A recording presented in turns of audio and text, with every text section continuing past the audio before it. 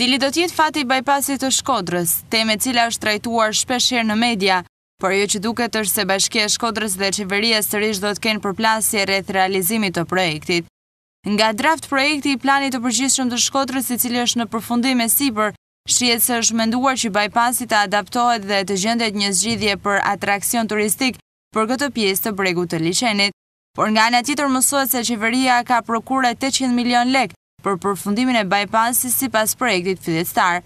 Nga ana tjetër, nuk dihet nëse ka pasur ose jo rakordim mes bashkisë dhe qeverisë rreth këtij projekti, i cili në vitin dy mijë e njëmbëdhjetë u nis të shërbejë si mbrojtës i Shkodrës nga rritja e nivelit të ujit të liqenit.